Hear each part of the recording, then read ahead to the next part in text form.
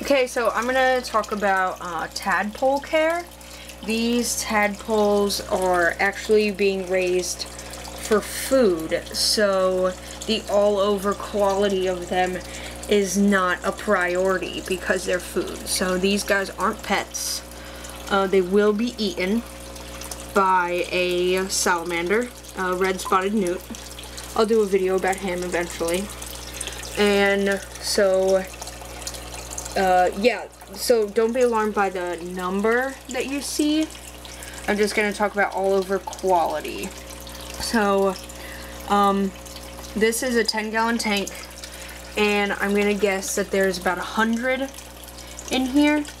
The tadpoles really like to uh, bury in the ground like that and uh, not sure why but because they do I put a PVC pipe and they like to go in it and then go through it and stuff.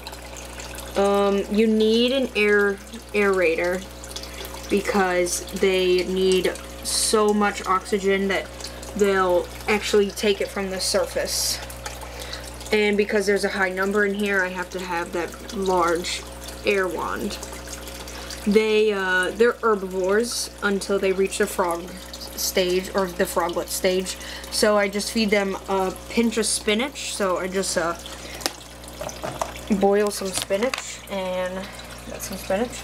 So I'm gonna grab a pinch and oh I put it in the refrigerator because you don't want it to be hot. So I'm putting it right in.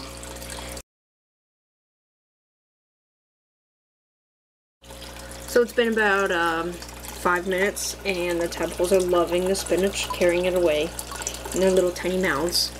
And they're munching away. And this is gonna give your tadpoles the nutrition that they need in order to be frogs.